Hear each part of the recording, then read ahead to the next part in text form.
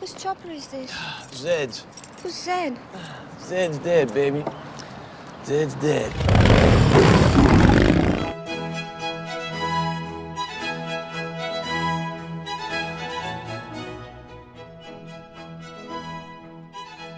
Boy, oh boy, was my face red when I had to inform all my guests that I was all out of Grey Poupon. Oh, hello there. Didn't see you. Where's Zed's dead?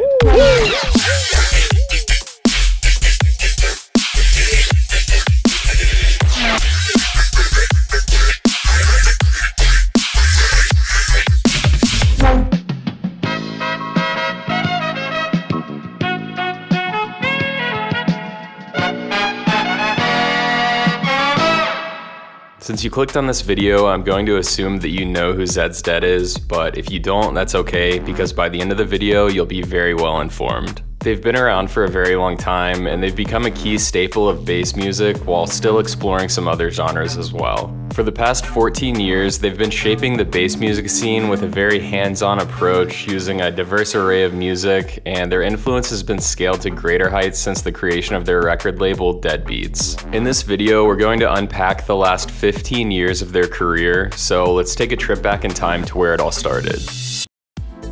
Zed's Dead is a duo that consists of Toronto natives Zachary Rapp-Rovan, also known as Hooks, and Dylan Mamid, also known as DC. Welcome back to Zed's Bread. I'm Hooks. I'm DC, and we're your hosts. Zed's Dead. The nickname Hooks actually comes from Captain Hook. Hooks made up the name when he was 14 as a play on the hook of a song, and fun fact, he even dressed up as Captain Hook for Halloween when he was 5. As for DC, his name stands for Dusty Crates, which refers to digging through records for old samples and rare tunes. Hooks has been into graffiti art for a long time, which is actually what led him to crossing paths with DC. Hook's cousin, who was actually DC's next door neighbor, introduced them in 2004. Uh, my cousin was like his neighbor, and he's actually like our manager and agent now. But um, you know, we started hanging out like in high school, and he made uh, beats like a little bit before me, and kind of like inspired me to get into it. And uh, yeah, we've just been making music together since like we're like I don't know. It's like over or- 10 years now. We've been uh, more, more. Yeah. Almost like 12 years. I mean, we had a group before Zed's Dead, and Zed's Dead's. Uh, I think it'll turn seven years old. DC's garage was sort of a neighborhood hangout spot, and he wanted to get one of the walls painted, and he knew that Hooks had started doing graffiti recently, so he asked him to paint a mural in the garage. While Hooks was painting the mural, he and DC hit it off, and they discovered that they shared a mutual love for hip hop, and they both had actually just begun producing music, though DC did start just a little bit before Hooks. In Zed's Dead's Reddit AMA from 2014, DC said that he first experimented with producing music using a PlayStation game called MTV Music Generator. We're secretly replacing DJ Scripple's equipment with the MTV music generator.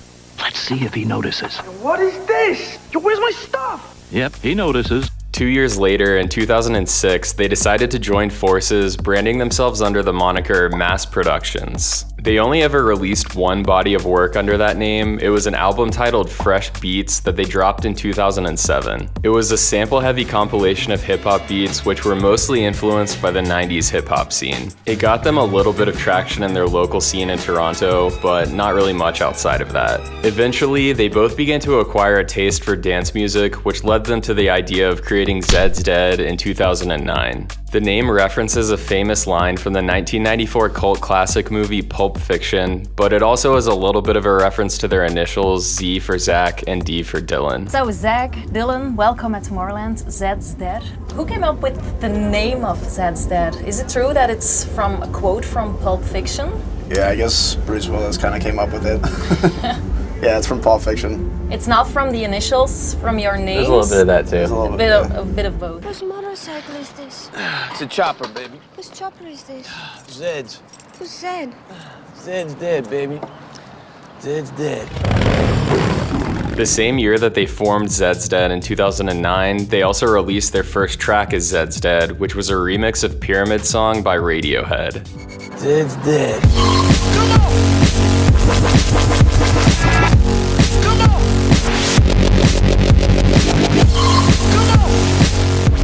They remixed quite a bit of rock in the early days, such as their remix of Gimme Shelter by the Rolling Stones.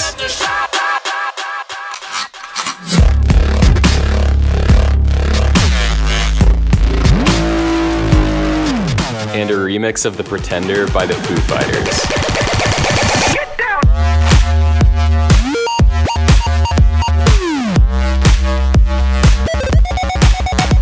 They also released their first ever original track in 2009, which is called Journey of a Lifetime, and then they actually played their first show at the Social in Toronto that summer. They were gaining a lot more traction under Zed's Dead than they were under Mass Productions, and as they continued to release music, they began to build up a fan base on MySpace. They also co-founded a weekly party called Bass Mentality in 2009 alongside the Killabits. Bass Mentality first started out in the basement of a Toronto bar called 751, and it was created with the intent of allowing DJs to play free from the restriction of concert promoters. The event was only held at 751 for about a year because the next summer in 2010 they moved the event to Toronto's Wrong Bar. Bass Mentality existed for four years, and over that time they hosted major artists like Skrillex, Borgore, and Nero, just to name a few. In 2011, Zed's Dead released a collab alongside Bass Mentality co-founders The Killabits, and the track was also called Bass Mentality. One year after starting Bass Mentality, they got widespread recognition for their Eyes on Fire remix, which landed on the top iTunes electronic charts, and I personally would consider it to be their breakout track. Skream, who's a famous dubstep DJ from the UK, was the first major artist to take notice of Eyes on Fire, and he played it on his radio show and in his live sets, which just added more fuel to the red hot track. All of that recognition got them their first official North American tour in 2010, playing over 40 shows in the US and Canada.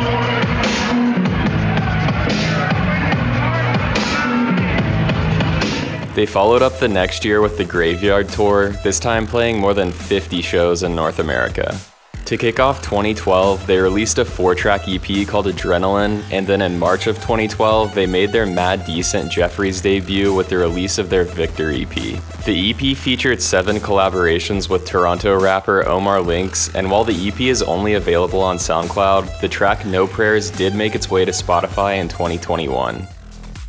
Just a few months later, they followed up with yet another EP featuring Omar LinX, the Living Dead EP. They put out a music video for the title track that had Peter Green in it, who is the actor who played Zed in Pulp Fiction, which was a fun Easter egg referencing the origin of their name. They even did a full tour with Omar LinX after the release of the EP.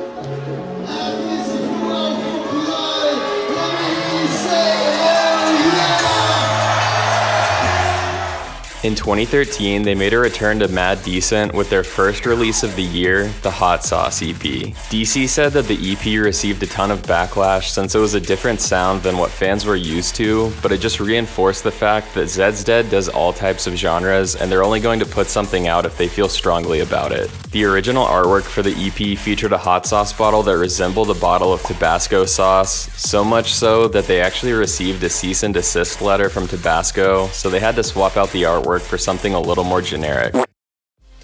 By 2014, the Zed's Dead project had been going strong for half a decade, and it was finally time for them to release their debut album. The 8-track album, which was titled Somewhere Else, was released on July 1st and gained instant recognition, charting on the Billboard 200. The final track on the album features Perry Farrell, who is the lead singer of Jane's Addiction, but you may know him better for his wildly successful music festival, Lollapalooza. Hence the reason for Perry's stage being named after him.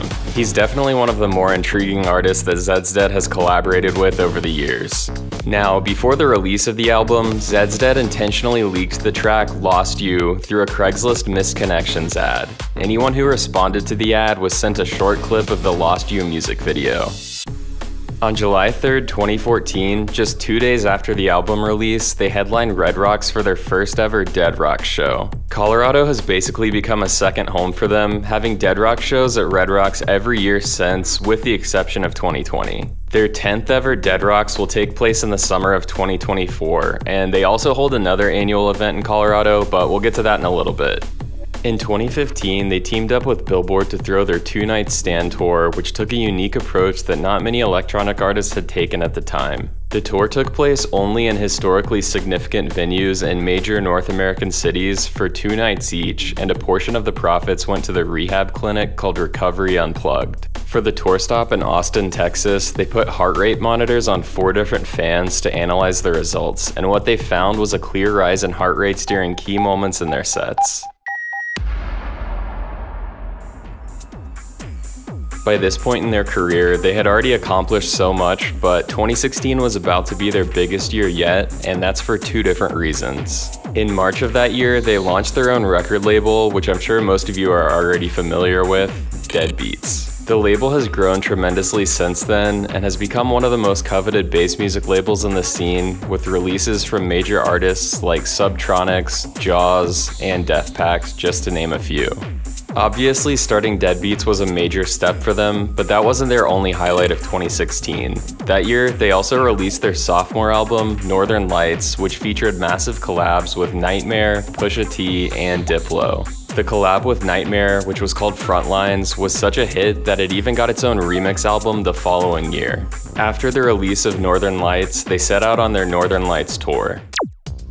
In 2017, they released four singles, including Where the Wild Things Are with Illenium and Lights Go Down with JAUZ. Four more singles were released the following year in 2018, including collabs with Ganja White Night and Snails.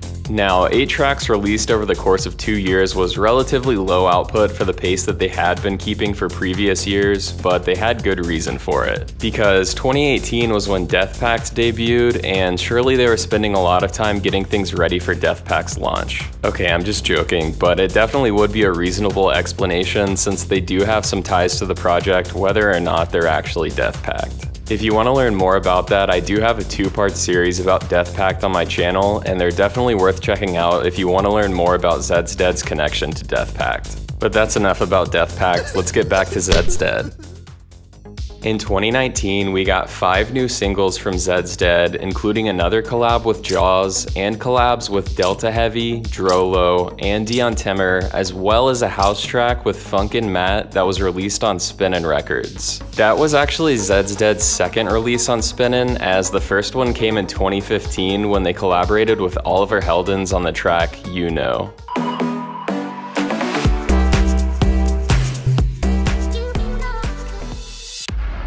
On the 4th of July 2020, they debuted their first annual Deadbeats Backyard Jamboree in Denver, which featured performances from various Deadbeats artists with a whole bunch of other things to do, like play arcade games, graffiti mural painting, and more.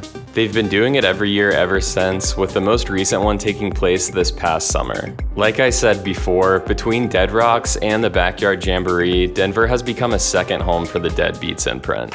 Are live on air. Yeah, just uh, give me the lyrics. Let's get the song going. All right, I'm pro. Deadbeats Backyard Jamboree. Rocking with the Deadbeats family. We got three stages and three styles, three ways for you to get wild in the Deadbeats Backyard Jamboree. On the Deadbeat stage, we got Says the Truth and Blank. Rush, Hour, Vampa, Super Rap, Pace, and Jones, and. All right, I lost myself there. On a DNB stage, we got uh, Delta Heavy, Kenny Ken, Camarion Liquid Smoke, Blossom Bensley, and Joel Cruz. Do. Okay, wait. Back one more time. Back one more time. Come on. Uh, on the altar stage side, we got Mary droppings, Noises, Saki, and Pacifics. Yo, this is not working. Let me just get us out there. We got three stages. We got lawn games, food trucks, dunk tank, bouncy castle, merchant art. It's our third annual hot dog eating contest, biggest one west of the Mississippi. We got donut on a string eating contest. We got a glam station. So you know your boy's looking sexy as all hell. Now, can you bring it back so I can get the chorus down and we can call it a day? Deadbeats Backyard Jamboree. You know that's where I wanna be. With them blah blah blah blah blah blah blah blah blah blah the Deadbeats Backyard Jamboree. Alright, enough. Enough!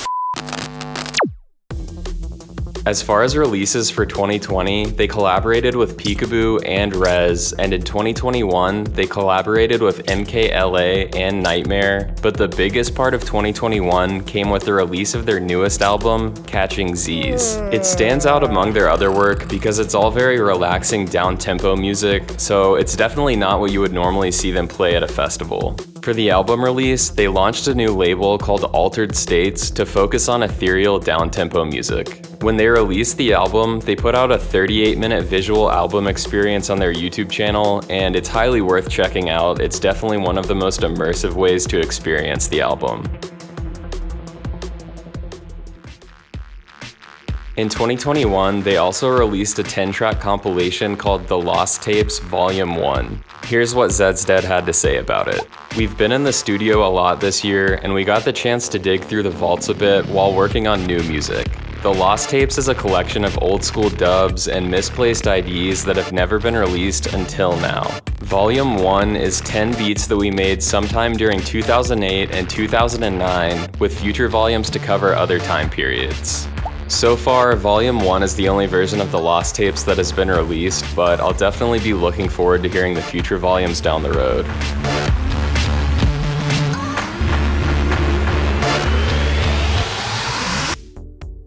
Zeds Dead released more heavyweight singles in 2022, like Gassed Up with Subtronics and Ecstasy of the Soul with GRiZ, among quite a few others. Even more hits followed this year in 2023, like Criminal with Hamdi and Scared with Peekaboo. But the most interesting track of 2023 has gotta be 139, which was released on AC Slater's Night Bass label, and it was Zeds Dead's Night Bass debut.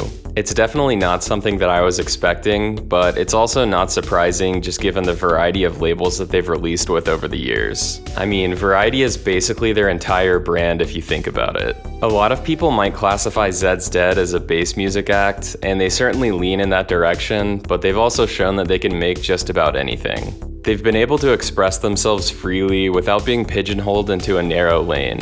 I mean, who else has collaborations with Oliver Heldens, Subtronics, Perry Farrell, and Illenium? The answer is nobody, and that just shows how artistically unique Zeds Dead really is.